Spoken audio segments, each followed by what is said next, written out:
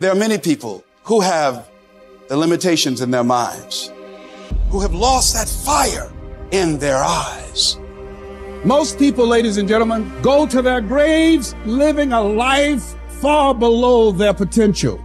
And the question is, if you die today, what ideas, what dreams, what talents, what gifts will die with you? You have the ability to do more than you can ever begin to imagine. It's what you create. It's the habit of what you put in your head. See, someone can tell you your whole life you're a piece of crap, and part of you go, you're full of it. I'm going to show you. Lots of people have done that. They never bought it. Or someone tell you you're beautiful your whole life. You go, I'm not really beautiful. So what people tell you doesn't matter at all. It's what you stack. It's what you assemble. You need to believe and know that you're one decision, one relationship, one meeting, one book, one thought, one something away from a completely different life. It's an effort play. If you don't have self confidence, you've never kept the promises you make to yourself. Check that box. If you have self confidence, you've started to keep the promises you make to yourself. So if I'm to get up and I'm going to work out, I'm to do 10 reps in the gym, I do one more. Wow. If I'm to do 45 minutes on the treadmill, I do one more. If I want to make 10 contacts in a day, I do that and one more. There's a lot of times where I don't know how I'm going to move forward, but I ask myself one question Can you take another step? And that answer is always yes. You're passing through that, that keyhole. But if you pass through it, then something massive opens up on the other side. And it is definitely the case that disciplinary institutions, universities, are exactly that.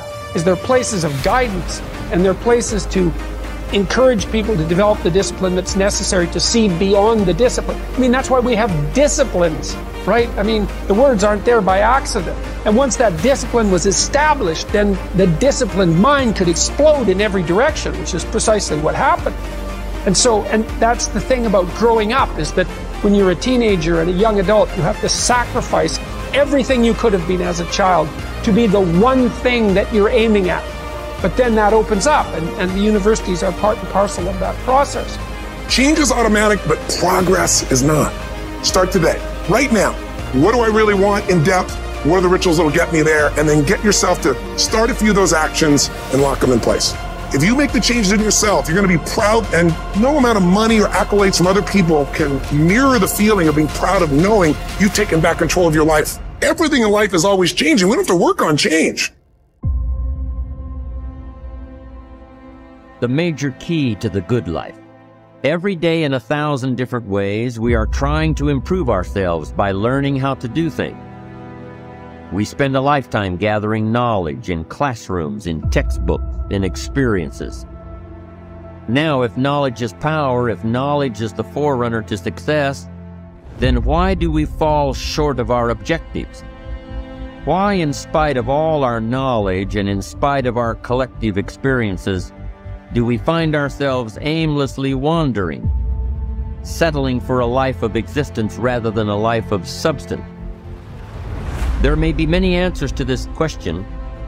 Your answers may be different than your associate or your spouse's or your friends. The fundamental answer is the absence of discipline. Applying all that we know. Discipline. Self-discipline. We might add one more word here consistent. Consistent self discipline.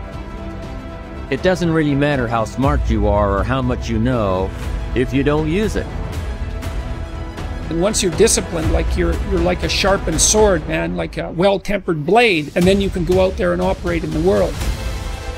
The reason that discipline is necessary is because you're a mass of competing short term interests. And so the question is then, well, which short term interests should win out? And the answer to that is none of them. They need to be organized into a hierarchy that makes them functional across time and across individuals. Get really simple, things you can do right now to change your life. You can go to experience it that day, and then you get momentum day one, day two, day three, day four, and all of a sudden now what used to be hard to do is easy to do. And I think for anyone, you got to understand anyone can learn anything. And I'm just not willing to settle for a life without passion and aliveness. That's just like there's so much to learn, there's so much to grow. And then my view is what's next is always better. If I make it so, it's my job to make it so. And I think that's how we have to navigate. But most of us, most of us have been conditioned not to, to take a risk. And once you peel the crust, you know, you know, peel that crust away and see who you really are, you open your mind to a whole nother world. So I've opened my mind up to a whole nother world that most people can't even fathom because they haven't dug deep. So they think, people think I'm crazy because I found a whole nother way of living. I think they're crazy for never even trying to get to the other side of whatever's in front of them. So what drives me every day is finding more of myself. And being my best is a never ending journey.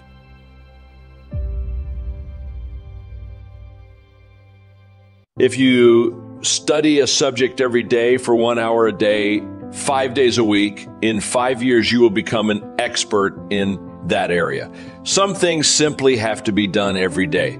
You know, the old saying, an apple a day keeps the doctor away. Well, eating seven apples all at once isn't going to give you the same benefit. If you want to improve, intentional growth needs to be a habit. A habit is something I do continually not once in a while. Motivation may get you going, but the positive habits you develop and practice consistently are what keep you improving as I have worked to improve on a day by day basis. Two words have helped me to stay on track. The first is intention. Every morning as I start my day, I intend to learn something that day. This develops a mindset in me to look for things that will help me improve. The other word is contemplation. Time alone is an essential for self improvement. When I spend time thinking about my challenges, experiences, and observations, it allows me to gain perspective. I can evaluate any losses and I can learn from them. Contemplation time by myself also gives me time to do positive self talk. The most important words we will ever utter are those words we say to ourselves, about ourselves, when we are by ourselves. During these conversations, we can beat ourselves up and make ourselves feel really small, or we can learn and build ourselves up so that we become better. If you want to spend some time each day to try to improve yourself, you might want to begin by asking yourself three questions at the end of the day, as I do. They are, what did I learn today? What spoke both to my heart and my head? How did I grow today? What touched my heart and affected my actions? What will I do differently? Unless I can state specifically what I plan to do differently, I won't learn anything. One of the things I don't do is compare myself to others during that time. There's a reason for that. My desire is to not become superior to anybody else. I only want to be superior to my former self. Intention and contemplation assist me in doing that. Intentional improvement is within the reach of anyone, no matter how experienced or green, educated or ignorant, rich or poor. To start improving today, do these three things. Decide you are worth improving to improve yourself. You must believe you can improve. Author Denis Waitley has a wonderful definition for personal development. He says that it is the conviction that there is value in your dreams. Personal development, he says, is the belief that you are worth the effort, time, and energy needed to develop yourself. It gives you permission to invest in yourself so you can develop your own potential. You can invest in yourself. You don't need anyone's dreams but your own. And you don't need to become anyone other than yourself at your best. The great philosopher Thomas Carlyle once wrote, let each become all that he was created capable of being. I can't think of a better definition of success. Life challenges us every day to develop our capabilities to the fullest. We're successful when we reach for the highest that's within us, when we give the best we have. Life doesn't require us to always come out on top. It asks only that we do our best to improve at whatever level of experience we are currently on. Pick an area to improve. You will have plenty of time to improve other areas of your life. Focus on the one now that makes the most of your strengths and is closest to your sense of purpose. Um, suggesting you to spend an hour a day improving in that area. Then take it slow but steady. We always overestimate what we can get done in a day or a week, but we underestimate what we can get done in a year. Just imagine what you will be able to get done in five years. Find opportunities to improve in the wake of your losses. Focused strategic improvement is important to success. But so is learning from our losses as they come. However, let me say this some lessons in life cannot wait. You must make the most of them when they occur. If you don't examine what went wrong while the details are fresh, you may lose the ability to learn the lesson.